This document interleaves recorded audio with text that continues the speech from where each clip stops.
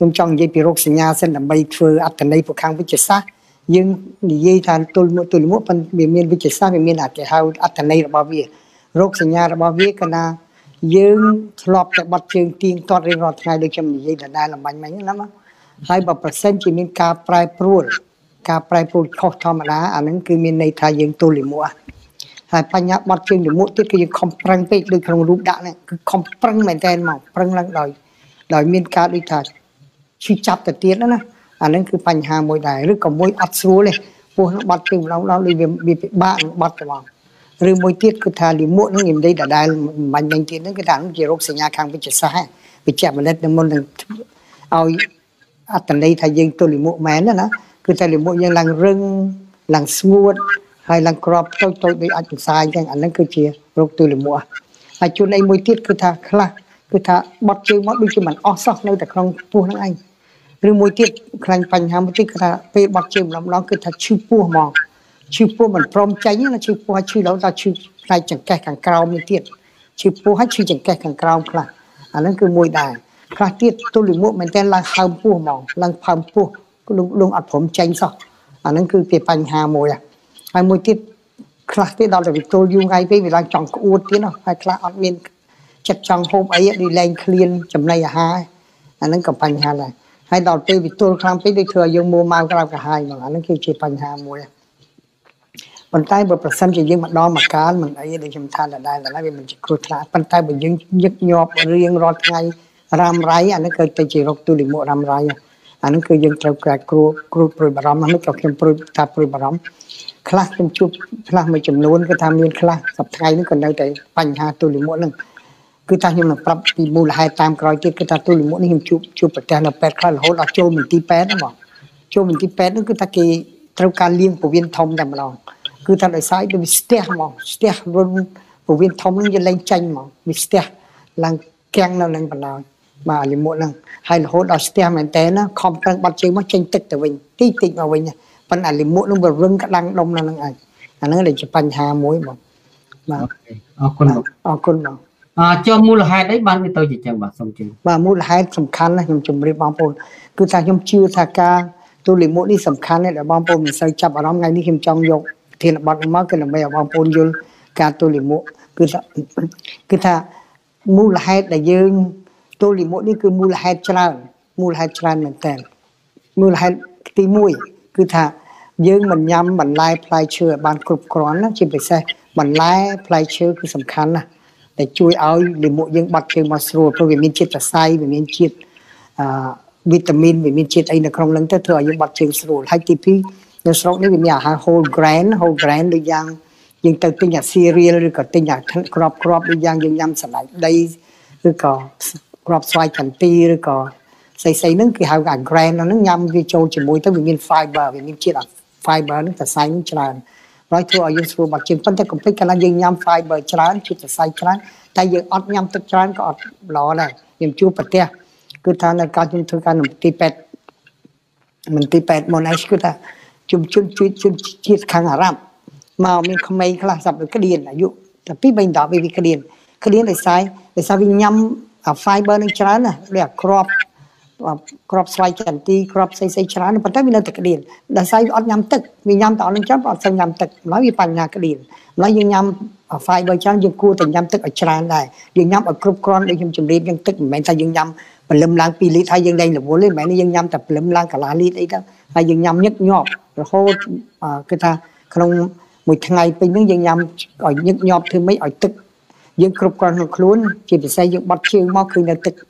នោមរបស់យើងថ្លាណាបងអានេះសំខាន់ណាស់កាលណាយើងមានជាតិទឹកច្រើននៅជាមួយម្ហូបអាហាររបស់យើងវាធ្វើឲ្យម្ហូបអាហារយើងវាសើមវាទន់ទន់ល្អម្ល៉េះនៅពោះវៀនធំឡើយវាបត់ជើងមកក៏ស្រួលមកដែរបាទហើយជាពិសេសមួយទៀតបើប្រសិនជាយើងហាត់ប្រាណខ្លះហាត់ប្រាណមែនទែនហាត់ប្រាណបែកញើសអីជាពិសេសនៅស្រុកស្រុកក្តៅបែកញើសហើយយើងអត់ញ៉ាំទឹកបន្ថែមបាននេះខ្ជិលខ្ជិលហើយអត់ញ៉ាំទេស្រែកទឹកក៏ដោយក៏អត់ចង់ញ៉ាំអាហ្នឹងក៏បញ្ហាធ្វើឲ្យយើងក្តៀនដែរហើយការហាត់ប្រាណទៀតបើយើងមិនសូវហាត់ប្រាណទៀត គឺបញ្ហាមួយដែរគឺធ្វើឲ្យយើងក្តៀនហាត់ប្រាណខ្ញុំចេះនិយាយថាកាលណាយើងហាត់ប្រាណខ្លួនយើងហាត់ប្រាណពវៀនយើងក៏ហាត់ប្រាណដែរគឺថាអាសាច់ដុំពវៀនរបស់យើងវាចាប់តាមធ្វើសកម្មភាពធ្វើសកម្មភាពធ្វើឲ្យពោះវៀននឹងវាមានកម្លាំងសាច់ដុំហើយការហាត់ប្រាណសំខាន់ណាស់បើយើងហាត់ប្រាណព្រលឹមកន្លះម៉ោងល្ងាចកន្លះម៉ោងក៏ធ្វើឲ្យយើងបាត់ជើងស្រួលដែរហើយខ្លះទៀតកាលណាយើងចង់ឈឺបាត់ជើងណាប៉ុន្តែខ្ជិលយើងហើយទ្រាំទ្រាំអត់ទ្រាំអត់ទ្រាំអត់ ពេលដែលយើងឈឺបាត់ជើងគឺថាខួរក្បាលយើងនេះក៏បញ្ជូនសញ្ញាទៅពោះវៀនដែរឲ្យប្រឹងហើយអាពោះវៀនហ្នឹងគឺវាមានវារៀបចំខ្លួនវានឹងច្បាច់លិមុខចោកចាញ់ហើយដែលយើងទុកវាចោលទៅវាខ្សោយទៅវិញអាអាពេលដែលវាត្រូវមានសកម្មភាពដើម្បីបញ្ចេញលិមុខចេញហ្នឹងវាទៅជាជាហៃទៅវិញអាការហៃហៃទៅវិញយូរទៅក៏វាទៅជាក្តៀនដែរនឹងបញ្ហាដែរបើកាលណាយើងពេលថាយើងឈឺបត់ជើងយើងទៅព្រាមមកកុំដំអងណាកុំកុំឲ្យបង្ងាយបង្អងបាទ ហើយមួយទៀតគឺថាកាលណាយើងញ៉ាំឧទាហរណ៍ខ្ញុំនិយាយលេងទៅចោះថាកាលយើងញ៉ាំយើងធ្លាប់តែញ៉ាំមានបន្លែផ្លែឈើច្រើនទៅយើងទៅ holiday ទៅ holiday យើងជួននេះយើងជីកប៉ាល់ហើយយើងញ៉ាំតែសាច់គេឲ្យគេឲ្យបន្លែតិចតួចឬក៏ទៅ hotel យើងឃើញរបស់គេច្រើនច្រើនពេកយើងញ៉ាំតែសាច់ឃើញតែយីឃើញសាច់គេធៀមច្រើនផងឆ្ងាញ់មកដាក់ឯងច្រើនតិចសាច់គោច្រើនដាក់តិចភ្លេចញ៉ាំបន្លែផ្លែឈើអញ្ចឹងមានបងប្អូនគាត់និយាយលេងជាមួយខ្ញុំគាត់ថាគាត់និយាយលេងគាត់ថា ពេលនៅក្មេងយើងញ៉ាំដូចខ្លាពេលចាស់កាលណាយើងញ៉ាំដូចគោបើយល់ខ្ញុំនិយាយពេលក្មេងញ៉ាំដូចខ្លាពេលចាស់ពេលណាញ៉ាំដូចគោមានគាត់មានន័យថាអញ្ចឹងគាត់មានន័យថាពេលយើងក្មេងយើងញ៉ាំដូចខ្លាយើងចូលចិត្តញ៉ាំសាច់តែពវៀនយើងនៅខ្លាំងហើយយើងបត់ជើងស្រួលដល់តែចាស់ទៅយើងត្រូវតែញ៉ាំដូចគោវិញគឺញ៉ាំបន្លែច្រើនញ៉ាំសាច់បន្តិចតែអញ្ចឹងទេក្តៀនណាអានេះគាត់និយាយត្រូវមួយយ៉ាងរបស់គាត់មកអានេះបាទ អានេះគឺថាជាពិសេសយើងចាស់អាយុ50ឡើងលើណាបាទម្ល៉េះយើងត្រូវប៉ុន្តែយើងទៅ holiday ជួនអីយើងក្តៀនដោយសារតែយើងគេអត់មានបន្លែយើងក៏ខ្ជិលញ៉ាំបន្លែឃើញគេអត់បកងផងពគាផងសាច់គោផងសាច់ជៀមផងសាច់ជ្រូកផងញ៉ាំតែនឹងពេចក្តៀនអានឹងតែយើងអត់មានបន្លែក្តៀនណាហើយនារីមានផ្ទៃពោះក៏មូលហេតុដែលគាត់ក្តៀនគឺគាត់គាត់មានផ្ទៃពោះគឺពិបាកបត់ជើងក្តៀនឬមួយនារីនារីមុននឹងមករដូវហូម៉ូនគាត់ប្រែប្រួលគឺធ្វើឲ្យគាត់ក្តៀនដែរ បាទហើយអាយុដែលខ្ញុំជម្រាបកណ្ដាអាយុយើង50ឡើងលើពោះវៀនយើងខ្សោយហើយយើងគួរតែញ៉ាំបន្លែផ្លែឈើច្រើនហាត់ប្រាណដើម្បីឲ្យបត់ជើងស្រួលញ៉ាំទឹកឲ្យច្រើនបន្តិចហើយបញ្ហាមួយទៀតដែលខ្ញុំជួបប្រទះញឹកញាប់ឥឡូវមានមាន customer ខ្ញុំប្រហែលអ្នកដែលគាត់ក្តៀនពេកហើយខ្ញុំចេះតែឲ្យយោបល់គាត់ថាគាត់បាត់គាត់ stress ពេកគឺថាការតានតឹងពិបាកចិត្តអូគាត់គិតទៅព្រួយបារម្ភមកខណៈគាត់ព្រួយខ្លាំងពេកធ្វើឲ្យ stress stress ទៅខ្លួនវាបញ្ចេញជាតិគីមីមួយយ៉ាងធ្វើឲ្យអាពោះវៀនហ្នឹងគឺថាវា cramp វាអត់វាអត់ធ្វើសកម្មភាពប្រមាណទេម្ល៉េះធ្វើឲ្យគាត់ក្តៀនដែរម្ល៉េះអ្នកណាដែល stress ច្រើនហ្នឹងគឺគឺមូលហេតុហ្នឹងធ្វើឲ្យយើងក្តៀនដែរបងហើយមួយទៀតបញ្ហាមួយទៀតគឺថាអ្នកដែលមានរោគបញ្ហារោគស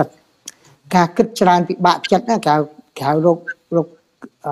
ពិបាកចិត្តខ្លាំងពេកណាបាទបាទអានឹងក៏បញ្ហាដែរក៏ក្តៀនដែរបងហើយរឿងមួយទៀតដែលរោគមួយទៀតដែលយើងធ្លាប់នៅស្រុកនេះគេហៅ irritable irritable bowel syndrome irritable bowel syndrome នេះគឺលិមុខអើរោគនេះគឺថាអ្នកខ្លះចេះឈឺពោះឈឺពោះឈឺពោះនឹងទៅរោមូលហេតុថតអត់ឃើញទេតែឈឺដោយសារសរសៃប្រសាទរបស់ពោះវៀនហ្នឹងវាធ្វើឲ្យឈឺណារោគហ្នឹងអ្នកហ្នឹងក៏ភាគច្រើនក្តៀនដែរបងហើយរោគមួយទៀតគឺថារោគច្រើនអ្នកញ័រដៃញ័រជើង Parkinson អ្នកហ្នឹងក៏ក្តៀនដែរហ្នឹងបើយើងមានរោគហ្នឹងគឺថាយើងតែងតែក្តៀនដែរម្ល៉េះយើងត្រូវតែព្យាបាលវាដោយញ៉ាំបន្លែផ្លែឈើឬក៏ញ៉ាំជាតិ fiber រោគមួយទៀតរោគមកៈរោគក្របមកៈយើងនេះគេហៅ thyroid disorder នេះ រោគពុកកនេះខ្លះកណាជាតិក្នុងកន្លែងពុកករបស់យើងនឹងបង្កើតជាតិ thyroxine នឹងតិចពេកមកធ្វើឲ្យយើងដូចអស់កម្លាំងលហិតហើយពោះវៀនយើងក៏ខ្សោយតែម្ល៉េះធ្វើឲ្យយើងក្តៀនដែរប៉ុន្តែបញ្ហាមួយទៀតដែលខ្ញុំចង់លើកយកនេះដែលក្តៀនណាបងចង់ដែលបញ្ជាក់ឲ្យឲ្យច្បាស់មែនទែនគឺថាកណាត់តែយើងក្តៀនដែលខុសពីប្រកដីប្រញាប់ទៅវិជ្ជបណ្ឌិតដើម្បីពិគ្រោះជាមួយគាត់ពួកខ្ញុំព្រួយបារម្ភមហារិទ្ធមហារិទ្ធពវៀនតំអាចធ្វើឲ្យក្តៀនមក គឺថាជាពិសេសបើថាយើងបាត់ជើងធម្មតាទេធម្មតាទេស្រាប់តែពេលមួយយើងក្តៀនដល់អត់មូលហេតុទេអាហ្នឹងគឺថាយើងតែគួរពិគ្រោះជាពិសេសយើងអាយុ50ឡើងលើមកព្រោះពវៀនដោយសារអីអាផូលីបអាពវៀនធំយើងគឺថាកាលណាវាដោះអាអាផូលីបអាដូចដូចដូចផ្សិតមួយណាដូចផ្លែផ្សិតមួយដោះហ្នឹងវាធ្វើឲ្យស្ទះរុនពវៀនធំហើយធ្វើយើងបាត់ជើងពិបាកអាហ្នឹងគឺជាបញ្ហាមួយដែលអាចមូលហេតុមហារីកពវៀនធំបាទនឹងបងប្អូនត្រូវប្រយ័ត្ន ប៉ុន្តែខ្លះដែរខ្លះមហារីកហ្នឹងជួនអីខ្លះក្តៀនថ្ងៃនេះស្អែករៀកខាន់ស្អែកក្តៀនរៀកចុះរៀកក្តៀនដូចតែមិនតែមិនទៀងទាត់ខុសធម្មតាខុសប្រកលីអានោះបងប្អូនត្រូវពិគ្រោះតែមូលហេតុមួយទៀតពេលការយើងញ៉ាំថ្នាំដូចខ្ញុំចេញពីរកញ៉ាំថ្នាំបើបងប្អូនជាពិសេសនារីញ៉ាំថ្នាំជាតិដែក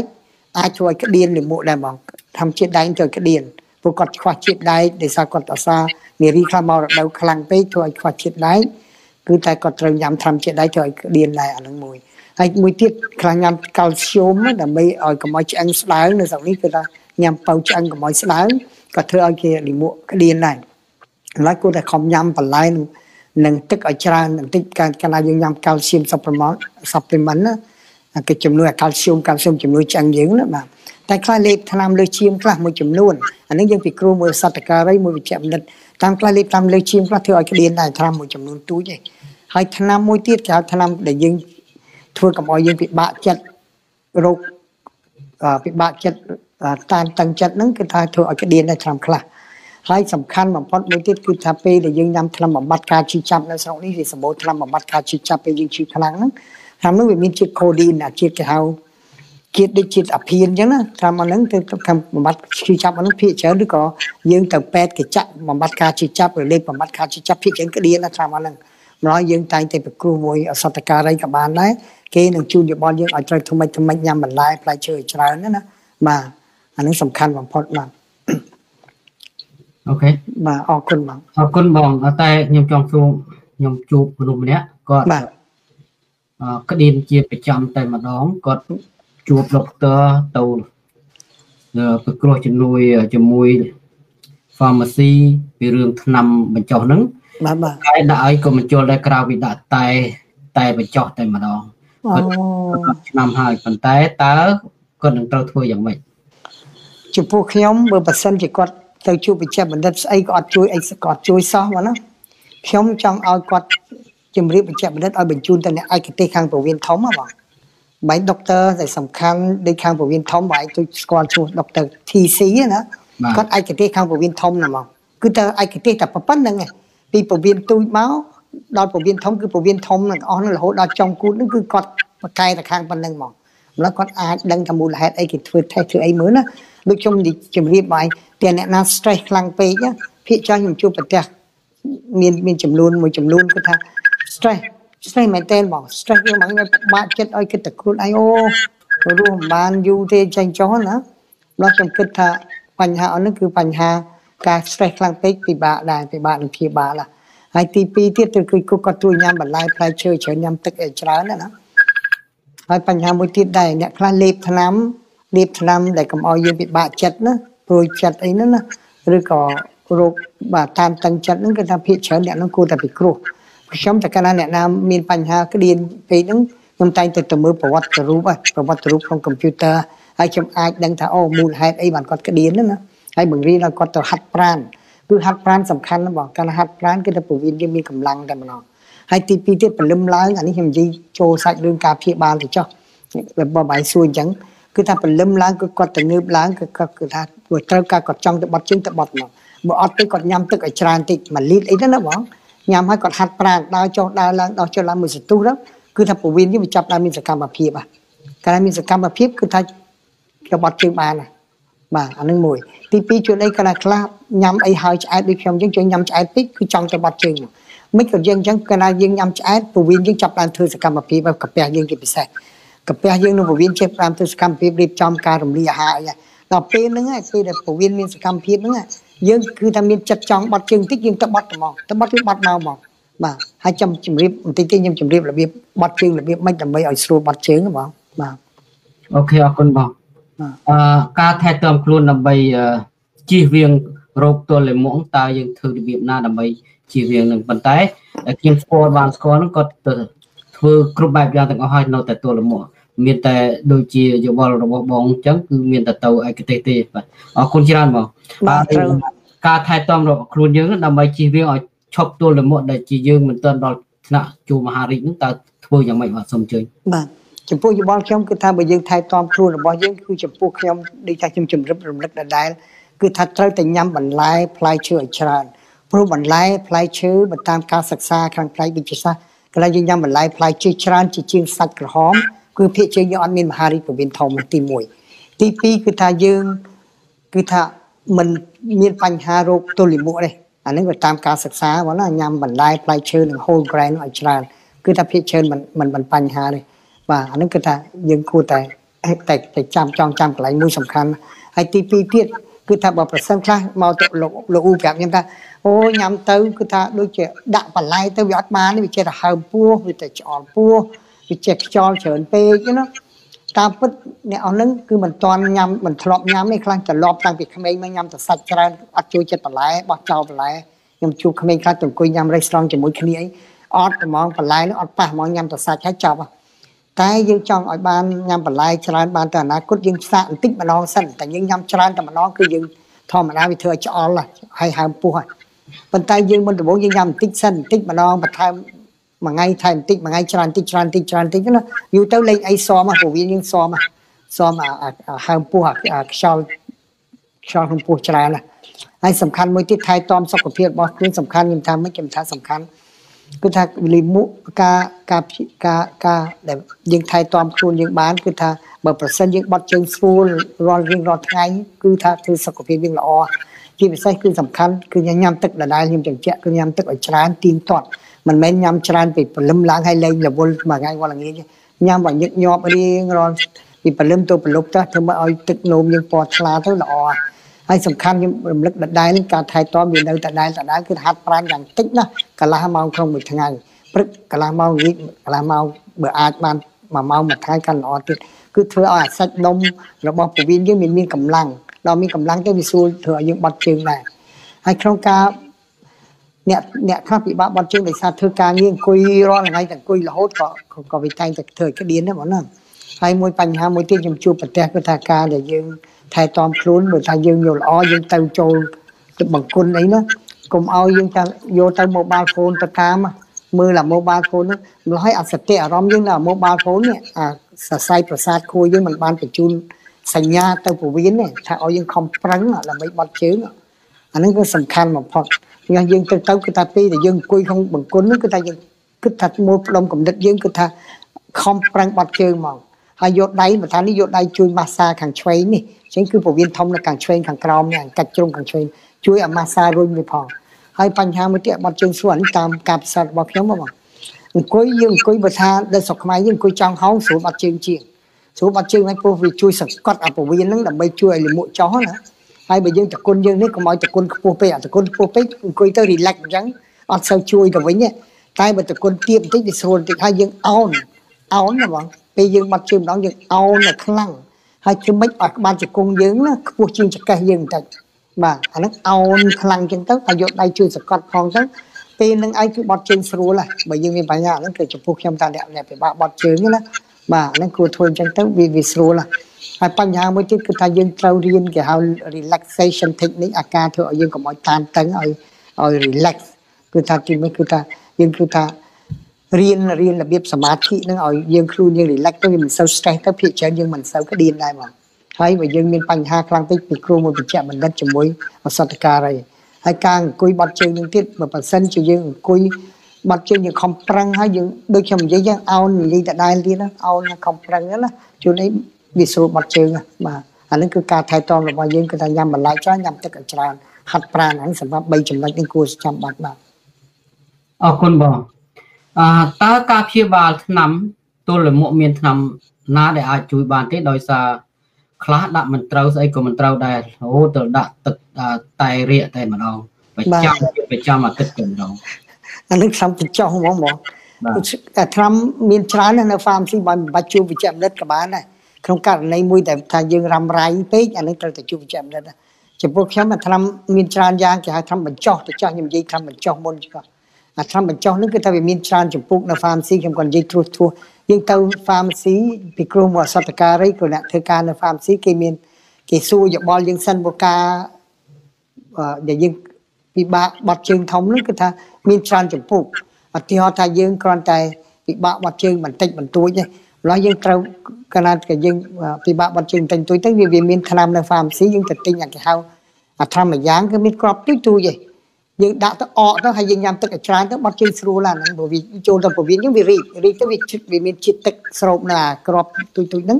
វាឲ្យយើងបត់ជើងស្រួលហើយទី2យើងមានអាទឹកសារ៉ូទៀតសារ៉ូផ្អែមផ្អែមអាសារ៉ូហ្នឹងអាសារ៉ូផ្អែមផ្អែមហ្នឹងគឺយើងញ៉ាំទៅតាមពិតវាអត់ជ្រាបផងឈាមយើងវាផ្អែមមែនប៉ុន្តែវាអត់ជាតិស្ករផ្អែមហ្នឹង វាអត់ជ្រាបផងឈាមវាអត់មានជាតិធម្មពលទេម្ល៉េះវាធ្វើឲ្យស្រូបជាតិទឹកចូលពោះវៀនធំទៅធ្វើឲ្យយើងបត់ជើងស្រួលដែរហហើយឬក៏មួយវាក្តៀនខ្លាំងពេកយើងសល់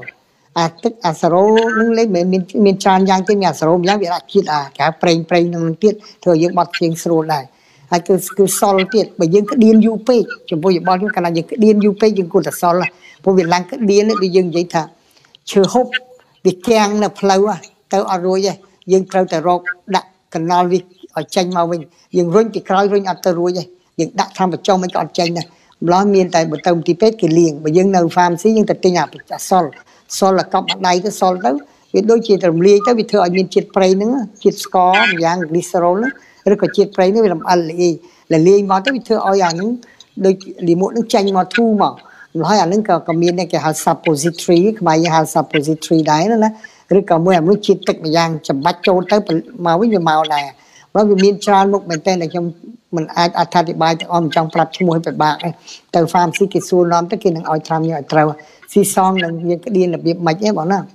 បាទហើយមួយទៀតគឺថា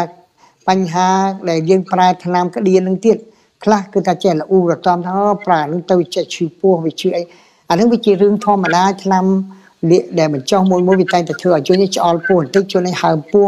ជួយអីខ្យល់ច្រើននឹងពោះអានឹងវាជារឿងធម្មតាទេបងអានឹងគឺថាយើងកុំកុំកុំកុំល្អូរតំបាទហើយមានអាជាតិថ្នាំមួយយ៉ាងទៀតឲ្យបត់ជើងស្រួលគេហៅ fiber ណាខ្ញុំតែងតែឲ្យបងប្អូនចូលចិត្តញ៉ាំអា fiber ហ្នឹងវិញអា fiber ហ្នឹងគឺទៅទិញនៅ pharmacy វាគេហៅដូច metamucil ហ្នឹងទៅទិញអាហ្នឹងអាហ្នឹងគឺម្សៅឯងលាយទឹកទៅដូចម្សៅអញ្ចឹងលាយទឹកទៅវាវាភ្លាមយើងញ៉ាំភ្លាមតែទុកយូរវាកកមក អាហ្នឹងគឺដូចវាស្រូបចិត្តទុកទៅវាឡើងឡើងដូចសារាយអញ្ចឹងបាទឡើងឡើងដុំដុំដូចកតុកអញ្ចឹងដូចកតុកត្រូវទឹកអញ្ចឹងអាហ្នឹងដាក់ទៅបាត់ជើងមកស្រួលដែរហ្នឹងវាទៅធ្វើឲ្យលមួកយើងធំទៅវិញអាមួយធ្វើឲ្យលមួកយើងចេញស្រួលហើយធ្វើឲ្យលមួកយើងធំដល់ធំទៅស្រូបទឹកជាតិមកវាបាត់ជើងមកស្រួលដែរអាហ្នឹងគឺមួយដែរតែអាហ្នឹងគឺថាអ្នកខ្លះចង់ស្គមនឹងចែងតែងឲ្យយោបល់ថាបើចង់ស្គមផងទិញញ៉ាំអានេះទៅអាគេហៅពីអង់គ្លេសហៅ bulking forming laxative អាហ្នឹងបញ្ចុះដែរប៉ុន្តែវាញ៉ាំទៅវាអត់ស្រូបជុំខ្លួននេះបើធ្វើឲ្យលំមុខយើងធំទៅធ្វើឲ្យយើងឆ្អែតតបាយដាក់ទៅមកកញ្ចប់ទីទៅឆ្អែតហ្មងឆ្អែតទៅលេអត់ឃ្លានបាយឃ្លានបាយយើងស្រក់គីឡូឯងអាហ្នឹងអាហ្នឹងអាហ្នឹងមួយដែរអាហ្នឹងស្រួលស្រួលនៅ pharmacy សម្បូរណាសប្តាហ៍នេះបាទហើយមានបញ្ចុះមួយទៀត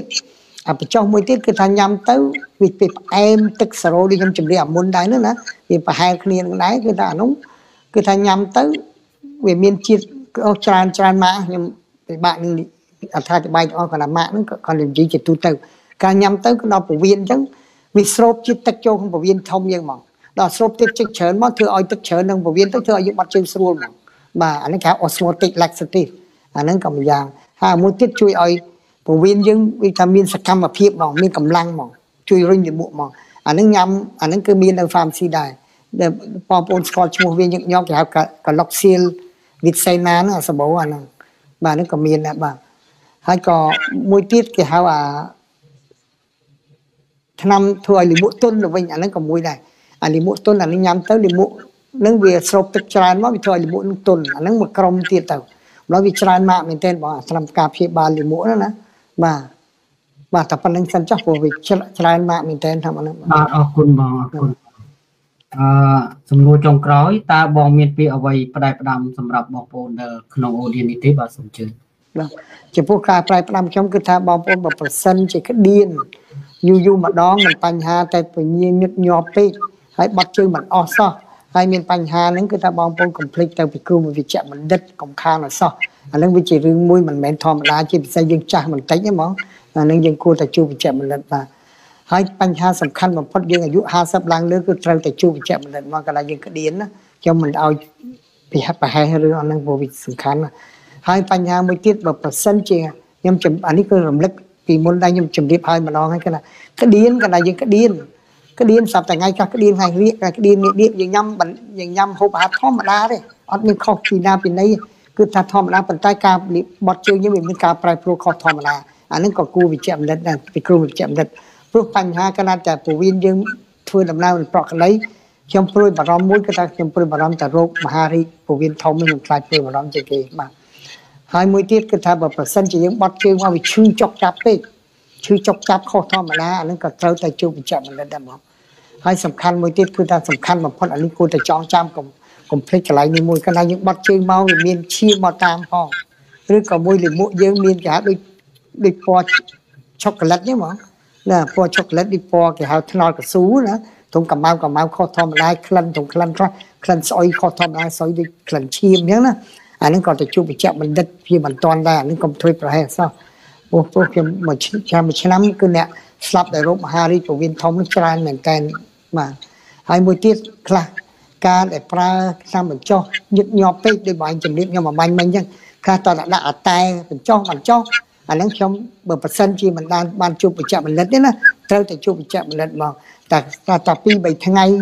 ក្លៀនដល់រហូតពី3ថ្ងៃមិនព្រមបាត់ជើងសោះដូចឆ្លប់ខ្ញុំអញ្ចឹងបាត់ជើងរាល់ថ្ងៃសាពី3ថ្ងៃមិនបាត់ជើងសោះអាហ្នឹងត្រូវតែជួបបច្ចៈបណ្ឌិតហើយមួយទៀតគឺថាបញ្ហាមួយទៀតគឺថាអ្នកខ្លះកណាក្លៀនម្ដងម្ដងគឺអស់កម្លាំងលហិតលហើយអត់ស្រួលខ្លួនចង់អួតហើយស្រកគីឡូដែលអត់មូលហេតុណាបងហើយឈឺក្បាលហើយជើងគ្រុនទៀត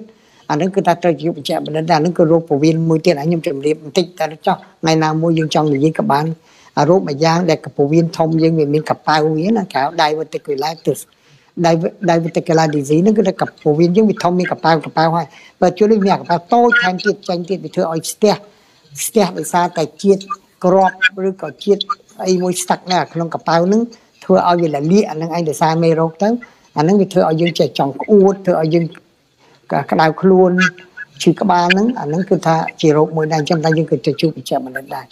ហើយមួយបញ្ហាមួយទៀតខ្លះគឺថាក្តៀនយូរពេកគឺថាកុំឲ្យលើសពី7ថ្ងៃបើលើសពី7ថ្ងៃគឺថាយើងគួរតែជួបវិជ្ជាបណ្ឌិតដែរហើយនិមុខដដែលនិយាយដដែលខ្លះក្តៀនបាត់ជើងអត់ចេញចេញតែមកទៅទឹកបន្តិចបន្តិចទៅវិញមកទឹកទៅតាមនេះមកក្តៀននៅតែលិមុខនៅតែអត់ព្រមចេញអាហ្នឹងគឺត្រូវជួបវិជ្ជាបណ្ឌិតដែរហើយមួយទៀតខ្ញុំភ្លេចប្រាប់ បន្លាយផ្លែឈើយើងមួយទៀតខ្លះដែលពិបាកក្តៀនម្ដងមកកាលទេបងអាចទៅទិញអាគេហៅផ្លែកាពួតប្រាំងហ្មងបាយស្ករពួតប្រាំងស្រុកនេះហៅអូក្រាហ្មងអូស្គាល់នឹងសម្ដែងសម្ដែងនេះបាទអាអាពោតប្រាំងអាអូក្រាហ្នឹងគឺញ៉ាំទៅគឺស្រួលបាត់ជើងហ្មងដាក់ទៅមកឯងហ្មងឬក៏ញ៉ាំផ្លែគីវីច្រើនតិចក៏បាត់ជើងស្រួលដែរបើយើងតលមុខយើងមិនចង់ញ៉ាំថ្នាំណាទៅ pharmacy យើងទិញបន្លែឬក៏ផ្លែឈើនឹងមកញ៉ាំស្រួលបាត់ជើងហ្នឹងបងបាទ អរគុណបងបាទដូចអស់ហើយបងបាទខ្ញុំសួរមានសំណួរការទល់លាមកអាចកើតជំងឺពោះវៀនធំដែរទេពោះចំពោះក្មេងប្រុសពេញវ័យឧស្សាហ៍រាកញឹកញាប់ហើយគឺពោះតើជាសញ្ញាជំងឺអ្វីដែលត្រូវអនុវត្តដោយម្ដេចខ្លះសូមអរគុណលោកពូអាសារិកទៅវិញហ៎បងបាទ អាសារិកខ្ញុំចំពោះយោបល់ខ្ញុំគួរតែទៅពិនិត្យវិជ្ជបណ្ឌិតព្រោះយើងមិនដឹងមូលហេតុអីណាឬមួយក៏ដោយសារតែពោះវៀនយើងខ្វះជាតិ probiotic អាមេរោគល្អណាព្រោះសប្តាហ៍ការសិក្សាសប្តាហ៍នេះគឺគេមូលផ្ដុំទៅលើអា probiotic អាមេរោគនៅពោះវៀនធំយើងដល់ណាព្រោះគេយល់ថាបើប្រសិនជាប្រទេសខាងក្រោមនេះគឺថា probiotic មេរោគល្អនៅខាងពោះវៀនយើងនេះវាល្អណាគឺធ្វើឲ្យយើងសុខភាពយើងល្អដែរព្រោះវាជួយតំណាក់តំណងរបៀប ផ្នែកប្រព័ន្ធការពារយើង ជាមួយនឹងមេរោគនៅពោះវៀនធំយើងម្ល៉េះសំខាន់ណាម្ល៉េះចំពោះយោបល់ខ្ញុំបើវិសារីករស់ទេគួរតែទៅជួបវិជ្ជបណ្ឌិតពិនិត្យមើលជនអីសប្តាហ៍នេះគេមាន ការសិក្សាខាងលិមួកនឹងច្រើនរហូតដល់គេគេ